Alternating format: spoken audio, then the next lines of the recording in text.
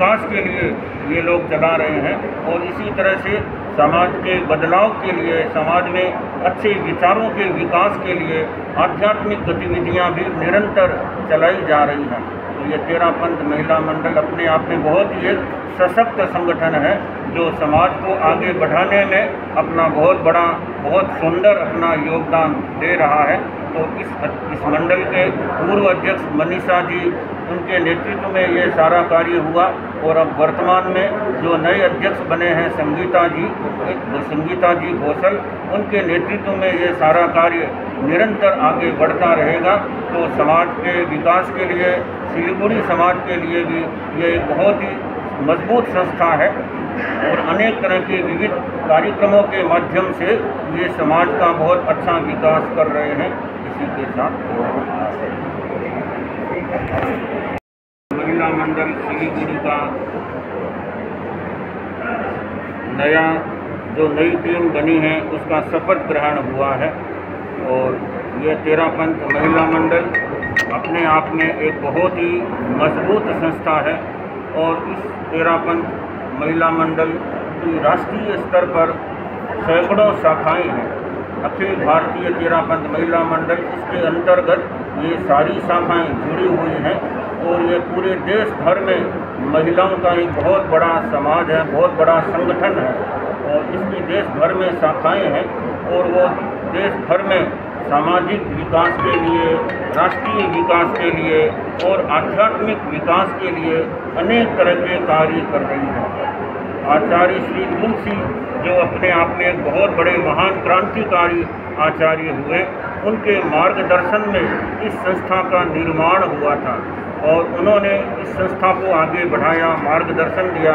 उसके बाद में आचार्य श्री महाप्रज्ञ जी ने इस संस्था को आगे बढ़ाया और वर्तमान में आचार्य श्री महाश्रमण जी के नेतृत्व में, उनके मार्गदर्शन में यह तेरा तेरापंथ महिला मंडल देश भर में अपना कार्य कर रहा है। यह तेरापंथ महिला मंडल अनेक आध्यात्मिक गतिविधियाँ चलाती हैं, जिससे लोगों के आध्यात्मिक विकास हो, लोगों के विचारों में, लोगों के जीवन व्यवहार में परिवर्तन हो और उनके जीवन में और अच्छे गुणों का विकास हो सके। और इसी तरह से यह तेरापंथ महिला मंडल सामाजिक सेवा के भी बहुत बड़े कार्य कर रही हैं। अनेक तरह की विविध उपक्रम यहाँ चलाए जाते हैं।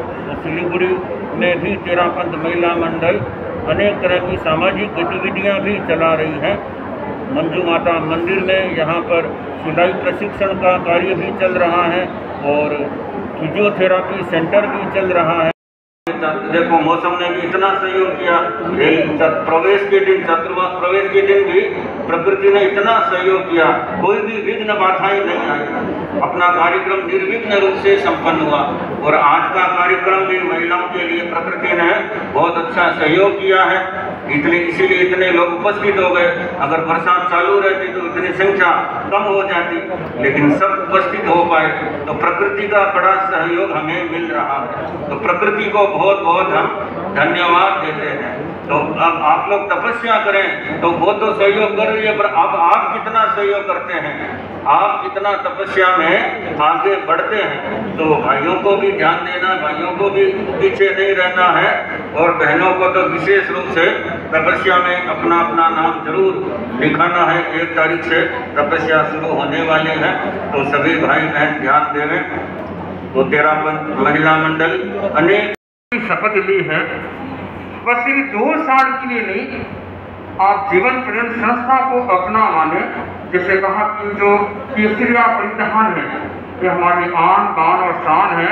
लेकिन एक शब्द मनीषा जी भूल गए कि हमारी पहचान है। कहीं भी जाते हैं ना तो ये पहचान ज़रूर और अब समय बहुत कम है सामने तेरस तो आने वाली है एक तारीख आने वाली है आज उनतीस तारीख तो हो गई आज अट्ठाईस अट्ठाईस हो गई तो थोड़े दिन हैं तो एक तारीख तो आ ही रही है सामने तो जल्दी से अपना नाम लिखवा दें ज़्यादा सोचने की भी अब टाइम नहीं है अब तो करने का टाइम है तो इसलिए बरसात का मौसम इतना बढ़िया अच्छा महिलाओं की संख्या कोई कम नहीं है, बहुत है तो इसलिए तपस्या और ज़्यादा ज़्यादा होनी चाहिए। अब चतुर्मास शुरू होने वाला है तो मैं तो चाहता हूँ कि चौमासा शुरू हो, तभी से कम से कम एक बचरंगी हो जाए। हाँ? महिला मंडल के द्वारा भी बात समय समय पर अनेक बार आध्यात्मिक कार्यक्रम भी करने के लिए दिए जाते हैं और सामाजिक सेवा के कार्यक्रम भी दिए जाते हैं कि आप